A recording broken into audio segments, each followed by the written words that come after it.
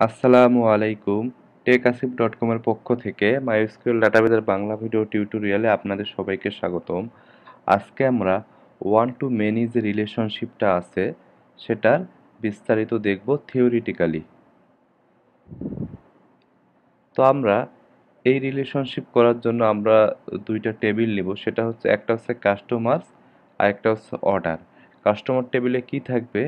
কাস্টমারের ইনফরমেশন থাকবে, তার নাম, ইমেল আইডি এগুলো এবং অর্ডার টেবিলে কি থাকবে, সে যখন অর্ডার করবে, সে অর্ডারের ইনফরমেশন, যেমন প্রাইস। তো আমরা কি আসলে স্টার করতে চাচ্ছি? টোটালি যদি আমরা দেখি, সেটা হচ্ছে কাস্টমারের ফার্স্ট নেম লাস্ট নেম কাস্টমারের ইমেল আমরা নিব date date of the purchase কখন কিনলো, সেই ডেটটা নিব প্রাইস অফ দ্য অর্ডার মানে সে যে অর্ডার করল, তার প্রাইস কত, সেটা নিব। তো এগুলো আমরা কিন্তু রিলেশনশিপের মাধ্যমে করব। অর্থাৎ আমরা দুইটা টেবিল আমরা করব, সেই দুইটা টেবিলের মধ্যে রিলেশনশিপ তৈরি করে এই কাজটা করব। তো আমরা যদি এই কাস্টমার এবং তার অর্ডারের ইনফরমেশন দুইটা সেপারেট টেবিলে না করে, আমরা যদি রিলেশনশিপের মাধ্যমে না করে নর্মালি একটা টেবিলের মাধ্যমে করতে চাই, সেক্ষেত্রে আমরা কি করতে পারি? সেক্ষেত্রে আমরা একটা টেবিল ক্রিয়েট করতে পারি, সেই টেবিলে কি ইনফরমেশন আমরা রাখতে পারি? ফার্স্ট নেম রাখব লাস্ট নেম রাখব ইমেল রাখব অর্ডার ডেট রাখব, কত টাকা অর্ডার করল সেটা রাখব। তো এখানে একটা জিনিস লক্ষ্য রাখুন, তো আমাদের যেহেতু টেবিল একটা, যেখানে কাস্টমারেরও ইনফরমেশন থাকবে, সে যা অর্ডার করবে তারও ইনফরমেশন থাকবে। তো এটা তো অসুবিধাটা কোথায়? যখন একটা কাস্টমার অর্ডার করল, ভালো কথা, তার ফার্স্ট নেম লাস্ট নেম তার ইমেল অর্ডার ডেটা রাখলাম, কত টাকা অর্ডার করল সেটাও রাখলাম। এই কাস্টমারটা যখন আবার অর্ডার করল, তখন কি হলো? আবার তার ফার্স্ট নেম লাস্ট নেম কারণ অর্ডারের সাথে তো আমার তার ইনফরমেশনও রাখতে হবে যে কোন কাস্টমার কি এই অর্ডারটা করল। তার মানে কি রাখতে হবে? তার ফার্স্ট নেম লাস্ট নেম ইমেলও রাখতে হবে অর্ডার ডেটও রাখতে হবে অ্যামাউন্ট কত টাকা সে অর্ডার করল সেটাও রাখতে হবে। তার মানে কি হলো? এই যে প্রথমে যে বয় জর্জ যে আমাদের কাস্টমারটা আছে, সে কিন্তু দুইটা অর্ডার করল। আমরা একই টেবিলের কারণে, যেহেতু এক টেবিলে সব ডাটা আমরা রেখেছি, সে দুইটা অর্ডার করলে তার জন্য কিন্তু এই টেবিলে দুইটারও দখল হয়ে গেছে। তার মানে সে কিন্তু রিডান্ডেন্সি হচ্ছে। অর্থাৎ এই টেবিলে অলরেডি বয় জর্জ তার ইমেল আছে। অর্ডারটা মানলাম যে দুইবার আছে ঠিক আছে, সে নতুন দুইটা অর্ডার করছে। কিন্তু ওই যে অর্ডারের ডেট আর order amount order date order amount এটা লজিক্যাল কিন্তু কথা হচ্ছে, সে যে অর্ডার করল, তার নামগুলো আমরা বারবার কিন্তু রিপিট করতেছি। এটা কিন্তু ডাটা রিডান্ডেন্সি অর্থাৎ এক ডাটা আমাদের টেবিলে একাধিকবার হচ্ছে। তারপরে এই যে জর্জ মিকেল এই যে আমাদের কাস্টমারটা সেও দুইটি অর্ডার করছে। সেক্ষেত্রে কি হলো? তারও কিন্তু দুইবার এই নাম আর ইমেল এই ইনফরমেশন দুইবার রিপিট হয়ে যাচ্ছে।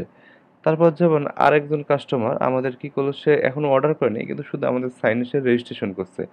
কিন্তু আমরা যে একটা টেবিল ইউজ করতেছি অর্ডার এবং কাস্টমারের জন্য, তার মানে কি? ওই এক টেবিলে কাস্টমারের ইনফরমেশন রাখতেছি অর্ডারেরও ইনফরমেশন রাখতেছি। সেক্ষেত্রে সে যখন কোনো কিছু কেনাকাটা করেনি, সে যখন সাইন আপ করেছে, তার ফার্স্ট নেম লাস্ট নেম ইমেলটা আমরা রেখেছি। যেহেতু সে কেনেনি, কিন্তু আমাদের তো কলাম দুইটা আছে, তাই না? তো কলাম দুইটাতে কী ভ্যালু বসবে নাল মানে এই দুইটাতে এখনও কোনো ভ্যালু আমরা বসাবো না অ্যাকচুয়াল ভ্যালু কারণ সে কোনো অর্ডার করেনি, সেজন্য নাল ভ্যালু বসল। তো আরও একজন একটা কাস্টমার আমাদের সাইটে সাইন আপ করল, সেও কোনো অর্ডার করেনি, সেক্ষেত্রেও কিন্তু তার জায়গায় নাল ভ্যালু বসল। এখানে কি হচ্ছে, সে এখনও কেনাকাটা করেনি, অথচ আমরা তার জন্যে দুইটা এক্সট্রা কলাম কিন্তু আমরা নিয়ে নিচ্ছি। আর নাল রাখছি, কোনো ভ্যালু রাখি নাই, কারণ সে কেনাকাটা করেইনি, কিন্তু তবুও সে জায়গাটা দখল করে আছে। তার মানে কি, এই ডেভিড বয় যে এই কাস্টমার সে যখন আবার কেনাকাটা করবে তার কি হবে? এই যে নাম তো রিপিট হবেই মানে রিডান্ডেন্সি বাড়বেই, কিন্তু তখন আবার কি হবে? এই দুইটা ভ্যালু কিন্তু তখন ফুলফিল হবে। এইটা আসলে ফুলফিল হওয়াটা সমস্যা না, কারণ যে অর্ডার করবে, প্রত্যেকটা অর্ডারের আমাদের কি ইনফরমেশন রাখতেই হবে, কত টাকা স্পেন্ড করল, কোন তারিখে অর্ডার করল, বা আরও যদি অন্যান্য আমরা ইনফরমেশন রাখতে চাই। কিন্তু আমাদের অসুবিধা হচ্ছে, তার হচ্ছে কি এই যে first name last name email কাস্টমারের ইনফরমেশনটা তার যে পার্সোনাল ইনফরমেশন সেটা বারবার রিপিট হচ্ছে। তো এইটা যদি আমরা দুইটা টেবিলের মাধ্যমে করি রিলেশনশিপের মাধ্যমে এই কাজটা, তাহলে কিন্তু আমাদের এই কাজটা আর হবে না। তো আমরা কীভাবে করতে পারি? আমরা করতে পারি কি? একটা কাস্টমার টেবিল বানাবো, একটা অর্ডার টেবিল তো কাস্টমার টেবিলে কি থাকবে? কাস্টমার আইডি থাকবে। আমরা জানি টেবিলে একটা, আমরা একটা কি রাখি আমরা নর্মালি যে একটা ইউনিক আইডেন্টিফায়ার তো আপনারা ভাবতে পারেন হ্যাঁ ইমেলটাও তো ইউনিক আইডেন্টিফায়ার হ্যাঁ হতে পারে আপনারা ওটাও বানাইতে পারেন, অসুবিধা নেই। তো আমি একটা আইডি নামে একটা কলাম করব, যেটাতে মানে কোনো ডুপ্লিকেট এন্ট্রি থাকবে না, অর্থাৎ সে একদম ইউনিক হবে। একটা রোয়ের সাথে আরেকটার আইডি কখনো মিলবে না। তো customer ID first name last name email এটা একটা কাস্টমার টেবিলের কলামগুলো তো আরেকটা আমি টেবিল ক্রিয়েট করব সেটা হচ্ছে অর্ডার এখানেই থাকবে অর্ডার আইডি মানে প্রতিবার একটা করে রোজ যখন ইনসার্ট হবে অর্ডার টেবিলে একটা করে আইডি থাকবে ইউনিকভাবে সে অটোমেটিক জেনারেট হবে। তো অর্ডার ডেট থাকবে অ্যামাউন্ট থাকবে, এই যে এখানেই হচ্ছে মেইন পার্টটা সেটা হচ্ছে এই যে অর্ডার টেবিলে যখন কেউ ভ্যালু ইনসার্ট করবে, তাই না? যদি কেউ কোনো ভ্যালু ইনসার্ট করে অর্ডার টেবিলে মানলাম আমরা অর্ডার ডেট নিছি অর্ডার অ্যামাউন্ট নিছি। কিন্তু আসলে যেহেতু অর্ডার একটা সেপারেট টেবিল কিন্তু কে অর্ডারটা করল, সেটা সেটা তো আমরা কেমনে ইনফরমেশনটা রাখব? সেই ইনফরমেশন যদি আমরা এক টেবিলে রাখি, সেটা তো সমস্যাটা আমরা দেখেছি, কিন্তু এক টেবিলে তো রাখব না। যেহেতু আমরা জানি কাস্টমার টেবিলে কিন্তু কি আছে? কাস্টমারের ফার্স্ট নেম আছে লাস্ট নেম আছে ইমেল আছে। তার মানে কি? যখন যে কাস্টমারটা অর্ডার করতেছে অর্ডার ডেট অ্যামাউন্টের সাথে যে কাস্টমারটা অর্ডার করতেছে, সেই কাস্টমারের আইডিটা যদি আমরা অর্ডার টেবিলে সেভ করে রাখতে পারি, সেক্ষেত্রে কিন্তু এই আইডি ধরে আমরা বার করতে পারব এটা কোন কাস্টমারের অর্ডার ছিল। তো চলুন আমরা টেবিল দেখে জিনিসটা আরও ভালোভাবে বোঝার চেষ্টা করি। তো এই যে আমাদের কাস্টমার টেবিল এই যে অর্ডার টেবিল তো কাস্টমার টেবিলে আমাদের নর্মালি কি আছে? কাস্টমার আইডি আছে। আইডি কিন্তু একটা আরেকটার সাথে কিন্তু মিলতেছে না। কারণ এটা আমাদের কি? ইউনিক এটা আমাদের প্রাইমারি কি এটা সম্পর্কে আমরা অলরেডি জানি। তো first name last name email তো আমাদের ধরুন এখানে চারজন আমাদের সাইটে সাইন আপ করেছে। তো চারজনের ইনফরমেশন আছে। ওকে শুধু তারা রেজিস্ট্রেশন করছে। এখন অর্ডার করেনি যখনই তারা অর্ডার করতে যাচ্ছে, একটা জিনিস আমি বলি, সেটা হচ্ছে ধরুন এটা হচ্ছে আলাদা একটা জিনিস। তো আপনার সাইটে আপনার শপে কেউ কী করতেছে? একটা জিনিস কিনতেছে। যে মুহূর্তে সে কিনতেছে কোনো একটা প্রোডাক্ট সে যদি সাইন আপ করা থাকে, আপনি কিন্তু জানেন যে তার কি? ইনফো তার ফার্স্ট নেম কি লাস্ট নেম কি? কারণ একটা আমরা যখন ফেসবুকে সাইন আপ করি, তো ফেসবুকে কিন্তু আমাদের নামগুলো শো করে, আমাদের সিটিংয়ে গেলে আমরা নাম চেঞ্জ করতে পারি, আমরা আমাদের ডেট অফ বার্থ চেঞ্জ করতে পারি। তার মানে কি? আমরা যখনই সাইন আপ করে কোনো একটা সাইটে লগ ইন করি তো ওই মুহূর্তে আমরা যাই করি না কেন, আমাদের কিন্তু নেম ইমেল এই সবগুলো ভিজিবল থাকে, তাই না? তো এরকম যখন একটা কাস্টমার একটা অর্ডার করতে যায়, কোনো কিছু একটা কিনতে যায়, তাই সে যদি লগ ইন করা থাকে, তার মানে তার কিন্তু নামটা আমাদের জানা থাকে। ওই মুহূর্তে আসলে কোন কাস্টমারটা লগ ইন করে সে কেনাকাটা করতেছে, তার কিন্তু নাম ইমেল এগুলো সব জানা থাকে। তো এটা বলার মূল কারণ হচ্ছে ধরুন আমাদের যে কাস্টমার টেবিলে তারা সাইন আপ করেছে, যখনই তারা অর্ডার করতে যাচ্ছে আমরা অর্ডার টেবিলে অর্ডারের ডেটটা রাখলাম অ্যামাউন্ট রাখলাম অ্যামাউন্ট রাখলাম। তো কাস্টমার আইডি রাখলাম কীভাবে? তো কাস্টমার যে কাস্টমারটা কিনতেছে, তার কিন্তু আমরা আইডিটা কিন্তু অলরেডি জানি। আইডি কেন? তার first name last name email সবই কিন্তু আমরা জানি। যেহেতু সে লগ ইন করে আছে আমাদের সাইটে তো আমরা যে কিনতেছে, তার যদি আইডিটা রাখি, সবগুলো রাখলে তো আসলে ডাটা রিডেন্ডেন্সি বাড়বে। আমাদের এখানে এমন একটা জিনিস রাখতে হবে যেটা ইউনিক যেটা দিয়ে আমরা কাস্টমারকে আইডেন্টিফাই করতে পারব। তো আমরা জানি এখানে এক একজনের কাস্টমারের আইডিটা এক একটা মানে একজনের সাথে আরেকটা কিন্তু মেলে না। সেক্ষেত্রে সেই মুহূর্তে যে কাস্টমারটা অর্ডার করছে, তার যদি আইডিটা আমরা কাস্টমার আইডি যে আরেকটা কলাম আছে আমাদের অর্ডার টেবিলে এইখানে রাখতে পারি, তাহলে কিন্তু আমাদের কাজ ওকে আমাদের ডাটাটা রিডান্ডেন্সি হচ্ছে না। আমরা কোনো কারণে চাই যে এই যে কাস্টমারটা অর্ডার করেছে, এক নাম্বার যে অর্ডারটা করেছে কোন কাস্টমার অর্ডারটা করেছে? কাস্টমার আইডিতে কিন্তু যে কাস্টমার অর্ডার করেছে, তার আইডিটা আমরা সেভ করে রাখছি। এই আইডিটা ধরে যদি আমরা কাস্টমার টেবিলে খুঁজি, আমরা কিন্তু তাকে পেয়ে যাব। আচ্ছা কাস্টমার আইডি কত? ওয়ান ও, তার first name Boy last name George email এত। তো আমরা কি হলো যে তার আইডিটার মাধ্যমে আমরা কিন্তু ডাটা রিডান্ডেন্সি হচ্ছে না। আমরা আইডির মাধ্যমে তাকে যে আবার বাইর করতে পারব, আমাদের মন মতো ডাটা তার তার যে যে ডাটা দরকার, আমরা বাইর করে নিয়ে আসতে পারব।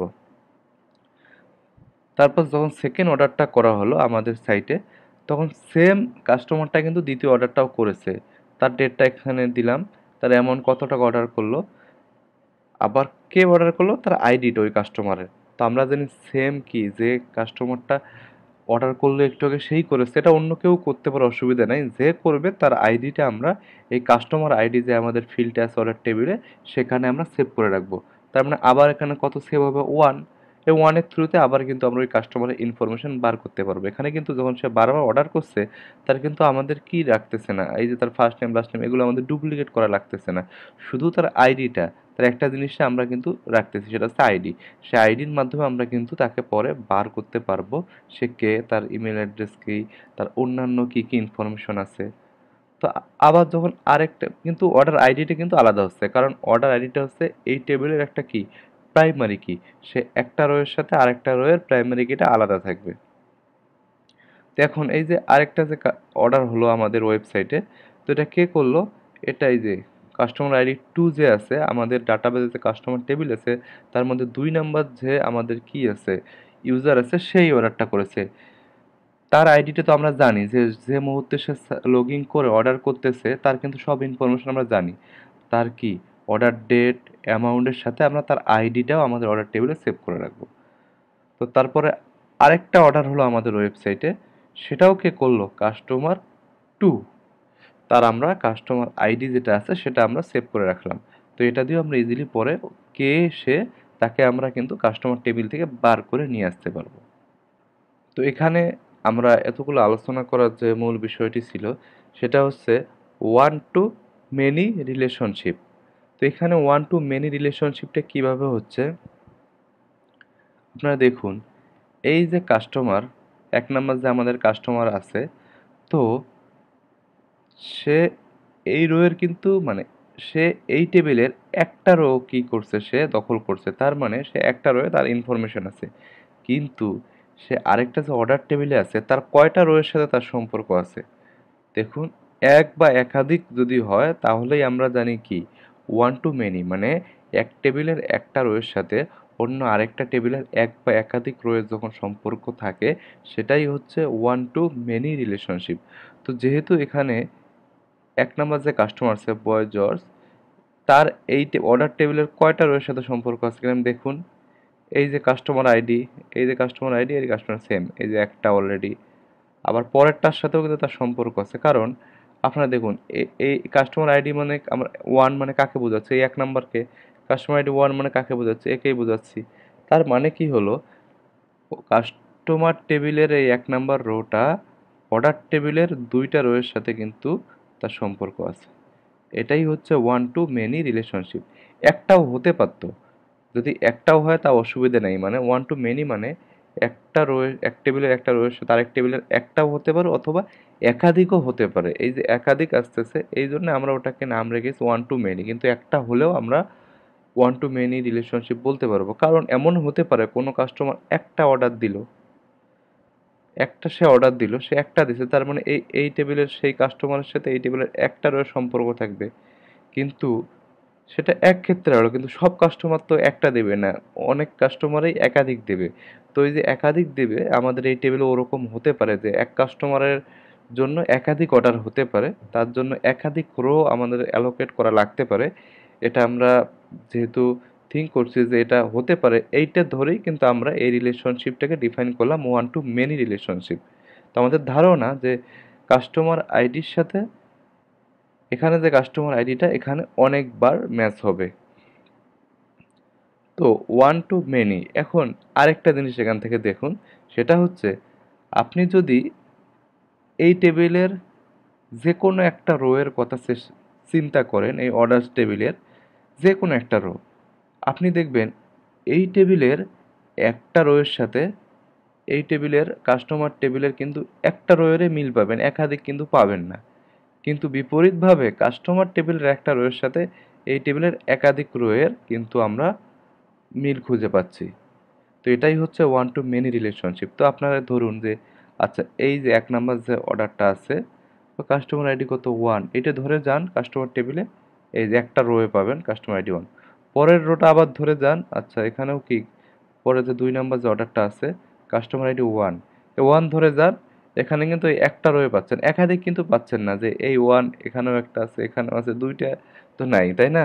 এটাই হচ্ছে কিন্তু ওয়ান টু মেনি রিলেশনশিপ মানে এখানে একটা রোয়ের সাথে এই টেবিলের একাধিক রোয়ের সম্পর্ক সম্পর্ক পাচ্ছেন, কিন্তু আবার এই টেবিলের একটা রোয়ের সাথে এই টেবিলে কিন্তু একাধিক নয়, একটাই পাবেন। মানে তার মানে কি? প্রথম টেবিল থেকে দ্বিতীয় টেবিলে, প্রথম টেবিলের একটা রোয়ের জন্য দ্বিতীয় টেবিলে কি থাকবে? এক বা একাধিক এন্ট্রি থাকবে। তো দুইটা ছোট্ট জিনিস, সেটা হচ্ছে আমরা একটু রিক্যাপ করে নেব। সেটা হচ্ছে প্রাইমারি কি প্রাইমারি কিন্তু আমরা জানি প্রাইমারি কিটা কি। আমরা এর আগের ভিডিওতে শিখেছিলাম যে প্রাইমারি কি হচ্ছে একটা টেবিলে যে কলামটা আমরা ইউনিক রাখতে চাচ্ছি, তার মানে একটা রো থেকে আরেকটা রো কলামের ভ্যালুটা সেম হবে না, সেটি হচ্ছে প্রাইমারি কি এই যেমন কাস্টমার আইডি এখানে প্রাইমারি কি এখানে অর্ডার আইডি প্রাইমারি কি তার মানে যখনই এই কাস্টমার টেবিলে একটা করে রো ইনসার্ট হবে তখনই আমাদের প্রাইমারি কির ভ্যালুটা কিন্তু চেঞ্জ হবে এবং সে আরেকটার সাথে মিলবে না। অর্ডার টেবিলেও কিন্তু যখন একটা করে আমাদের কি ভ্যালু ইনসার্ট হবে, একটা করে অর্ডার ইনসার্ট হবে, তখন কিন্তু অর্ডার আইডিটা করে একটা একটা করে বাড়তেই থাকবে এবং এখানে একটা আরেকটার সাথে কিন্তু মিলবে না। ফরেন কি এটা সম্পর্কে আমরা আলোচনা করিনি। তো এইটা সম্পর্কে আমরা এর পরবর্তী ভিডিওতে বিস্তারিত জানব। তো একটু সংক্ষেপে ফরেন কিটা আমরা এখন বোঝার চেষ্টা করি। ফরেন ফরেন মানেই কিন্তু বোঝাচ্ছে বিদেশি, তাই না? হ্যাঁ এখানে ওই বিদেশির মতোই জিনিসটা। সেটা হচ্ছে, এই যে অর্ডার্স টেবিলে প্রাইমারি কি? কি? আইডিটা হচ্ছে প্রাইমারি কি? এই যে আমরা, আমাদের চার নাম্বার যে কলামটা রেখেছি কাস্টমার আইডি এটা কিন্তু অর্ডার্স টেবিলের একটা কলাম কিন্তু এর মধ্যে কিন্তু যে ভ্যালুগুলো রাখতেছি, সেগুলো কিন্তু অন্য আরেকটা টেবিলের প্রাইমারি কি? অথবা ইউনিক কি যেটা একটার সাথে আরেকটা মিলে না, তাই না? এই যে যখন আমরা আমাদের একটা টেবিলের একটা কলামে ভ্যালু বসাবো, সেটা অন্য আরেকটা টেবিলের প্রাইমারি কি অথবা ইউনিক কি মানে একটা আরেকটার সাথে যখন মিলবে না, এই যে এখানে আইডিটা কিন্তু একটার সাথে মিলে না, তখন এই যে আমরা ভ্যালুগুলো বসাইলাম, এই যে কাস্টমার আইডি কলামটার মধ্যে যে ভ্যালুগুলো বসাইলাম, এগুলোই হচ্ছে আমাদের ফরেইন কি মানে কি, অন্য আরেকটা টেবিলের কি আমরা যখন আরেকটা টেবিলে রেফারেন্স করতেছি, যে বলতেছি ডাটাবেসকে যে দেখো, এই টেবিলে যে ভ্যালুগুলো বসাবা, সেগুলো যেন অবশ্যই কাস্টমার টেবিলের যে এই যে কলামটা আছে প্রাইমারি কি অথবা ইউনিক কি যে ভ্যালুগুলো ডিফারেন্স তো এই ভ্যালুগুলোর মধ্যেও যেন, মধ্যেই যেন এই ভ্যালুগুলো বসে। কারণ এখানে যেন অন্য কোনো ভ্যালু না আসে। তখনই এই যে আমরা যখন কাস্টমার টেবিলের আইডিটা এখানে কাস্টমার আইডি হিসেবে ব্যবহার করতেছি, এই কাস্টমার আইডিটা কিন্তু ফরেন কি কারণ এখানে যে কীগুলো বসতেছে, এগুলো এর এই টেবিলের কোনো নিজস্ব না, এটা হচ্ছে অন্য আরেকটা টেবিল থেকে সে বসতেছে। তো এইটার আসলে সুবিধাটা কোথায়? তো এমন যদি হয় যে একটা অর্ডার হলো, কেউ অর্ডার করল, কিন্তু এই কাস্টমার আইডির জায়গায় সে দশ দিল। দেওয়ার পর আমরা কি করলাম? পরে যখন ভাবলাম যে দশ নম্বর কাস্টমারটাকে কাস্টমার টেবিলে এসে খুঁজে দেখব যে দশ নম্বর কোনো কাস্টমারই নাই। তাহলে অসুবিধা না, যদি আমরা এখানে এমনিতেই নর্মালি ইউজারকে ডাটা ইনসার্ট করতে দিই, তাহলে কিন্তু অসুবিধা হবে। এজন্য যখন আমরা ফরেন কি হিসাবে এটা ডিক্লেয়ার করব, তখন সে এইখানে যদি কোনো কেউ ডাটা ইনসার্ট করে, সেক্ষেত্রে সেই ডাটাটা যদি এই কাস্টমার টেবিলে না থাকে, সে সেটাকে ইনসার্টেই করতে দেবে না। তো এই ফরেন কিটেক আমরা একটু বেসিক জানলাম, তার বেসিক কাজটা। এর পরবর্তী ভিডিওতে আমরা ফরেন কিটা বিস্তারিতভাবে জানব এবং আমরা কাস্টমার এবং অর্ডার টেবিলটা আমরা এসকিউএল কোড করে ইমপ্লিমেন্টেশন করে আমাদের এই থিওরিটিক্যাল জ্ঞানটাকে আরও একটু ভালোভাবে বোঝার চেষ্টা করব। তো আশা করি আপনারা বুঝতে পেরেছেন। আমার ভিডিওগুলো ভালো লাগলে আপনাদের বন্ধুদের সাথে শেয়ার করতে ভুলবেন না আর আমার চ্যানেলটি সাবস্ক্রাইব করতে ভুলবেন না। আপনাদের মনে কোনো কনফিউশন থাকলে অবশ্যই আমাকে জানাবেন, আমি আবারও জিনিসটা বোঝানোর চেষ্টা করব। ধন্যবাদ সবাইকে, আল্লাহ হাফেজ।